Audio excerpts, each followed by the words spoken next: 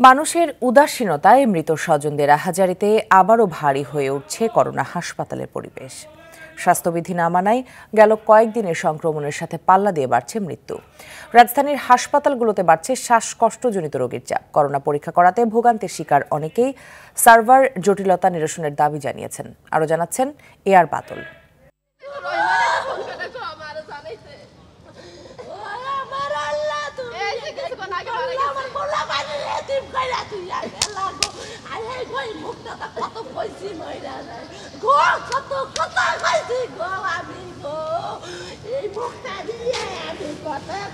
পরিবারের একমাত্র উপার্জনক্ষম ব্যক্তি আসলাম শেখকে হারিয়ে কুলসুম বেগমের এ আহাজারি। টিকা নেয়া থাকলেও রাজধানীর খিলক্ষেতের বাসিন্দা আসলাম শ্বাসকষ্ট নিয়ে রাজধানীর কুর্মিটোলা জেনারেল হাসপাতালে আসেন কিন্তু শেষ রক্ষা হয়নি। আল্লাহ তুমি এই যে দুদিন আগে আমি একটা টিকা দিয়ে গেছি আমরা জামাই বউ দুইজন গো। হ্যাঁ টিকা দিয়ে গেছি। কি হঠাৎ একই হাসপাতালে করোনায় মারা যান গোপালগঞ্জের কাশিয়ানির বীর মুক্তিযোদ্ধা আবু নাসের হাফিজুল কবির। জাতীয় পতাকায় কফিন মুড়িয়ে সম্মান জানিয়ে শেষ বিদায় জানানো হয় তাকে। লাংসে ইনফেকশন হয়ে হয়ে গিয়েছিল তো আর এমনিতে আগে থেকেই শ্বাসকষ্টের মতো ছিল। শ্বাসকষ্ট নিয়ে একের পর এক রুগী আসায় হিমশিম খাচ্ছে হাসপাতাল কর্তৃপক্ষ। আমরা নোয়াখালী থেকে আসছি শ্বাসকষ্ট কিছু খাইতে পারতেছে না এই জন্য আমরা এখানে নিয়ে আসছি আর কি চিকিৎসার জন্য।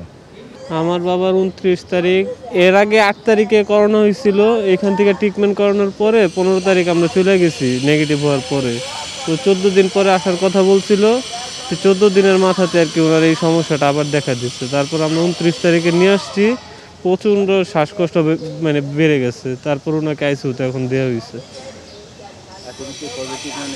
না করোনা নেগেটিভ কিন্তু ফুসফুসিতে তার নাকি ইয়াগুলো ছড়িয়ে গেছে পরবর্তীতে। এমন অবস্থা রাজধানীর প্রায় সব করোনা হাসপাতালে। কুর্মিটোলা জেনারেল হাসপাতালে করোনার নমুনা দিতে গিয়ে ভোগান্তির অভিযোগ করেন অনেকে। যে কোভিডের যেরকম সিস্টেম আপনি আজকে অনলাইন করবেন আপনারটা রিসিভ করবে আপনাকে মনে করেন যে তিন দিন চার দিন পর আপনার ডেট দিবে আপনি অমুক হাসপাতালে যান। এরকম করলে হয়তো সাধারণ জনগণ এটা আপনার ভোগান্তিটা কমবে। সার্ভার সার্ভার ওনাদের বন্ধ ছিল। পরে আমরা বললাম যে সার্ভারে তো আমরা লিঙ্ক পাচ্ছি না।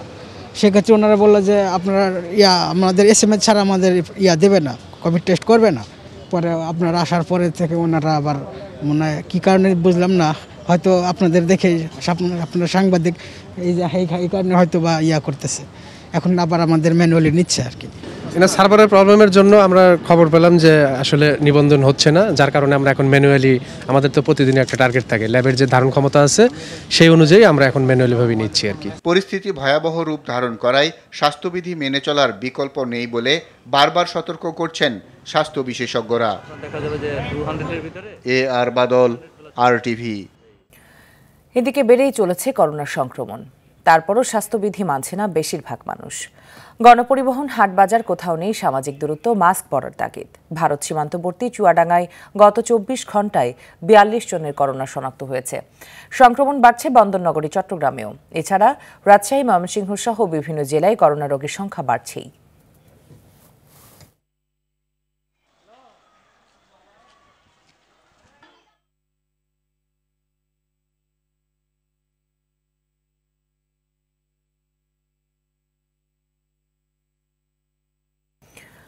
দর্শক, করোনা পরিস্থিতি জানাতে ময়মনসিংহ থেকে সরাসরি যোগ দিচ্ছেন সহকর্মী বিপ্লব বসাক। বিপ্লব, ময়মনসিংহে করোনা সংক্রমণ পরিস্থিতি এবং চিকিৎসা ব্যবস্থা সম্পর্কে আমাদের জানাবেন। মিতু, আমি যদি ময়মনসিংহে করোনার কথা বলি, তাহলে বলতে হয়, এখানকার মানুষের মধ্যে কিন্তু করোনার ভীতি নেই বললেই চলে। প্রতিদিন কিন্তু আক্রান্তের সংখ্যা বাড়ছে এবং প্রতিদিন কিন্তু মারাও যাচ্ছে। তারপরেও কিন্তু মানুষের মধ্যে সচেতনতা নেই। হাসপাতাল কিংবা হাট বাজার, বড় বড় শপিং মল বা কাঁচা বাজার কোথাও কিন্তু মানুষের মধ্যে কিন্তু সচেতনতা নেই নেই কোনো সামাজিক দূরত্ব। বেশিরভাগ মানুষই কিন্তু মাস্ক না পরেই তারা ঘোরাফেরা করছেন। এদিকে কিন্তু আজও কিন্তু ময়মনসিংহ মেডিকেল কলেজ হাসপাতালে করোনায় দুজনের মৃত্যু হয়েছে। এতে করোনা আক্রান্তে একজন এবং করোনা উপসর্গ নিয়ে একজনের মৃত্যু হয়েছে। আজ কিন্তু গত নতুন করে চারশো এগারোটি নমুনা পরীক্ষা করে একশো ষোলো জনের দেহে করোনা শনাক্ত হয়। শনাক্তের হার কিন্তু ছাব্বিশ দশমিক আশি শতাংশ। এদিকে হাসপাতালের করোনা ওয়ার্ডের যে focal person doctor Mohiuddin Khan Mun, তিনি আমাকে যেটি জানিয়েছেন যে বৃহত্তর ময়মনসিংহের করোনা রোগীদের ভরসাস্থল কিন্তু এই হাসপাতাল। এই হাসপাতালকে ঘিরে কিন্তু প্রতিদিনই করোনা রোগীর চাপ বাড়ছে।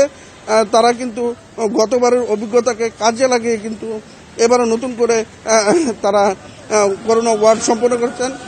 তারা কিন্তু দুশো আশিটি শয্যা এবং বাইশটি শয্যা তা- রেখেছেন এই হাসপাতালে করোনা রোগীদের চিকিৎসার জন্য।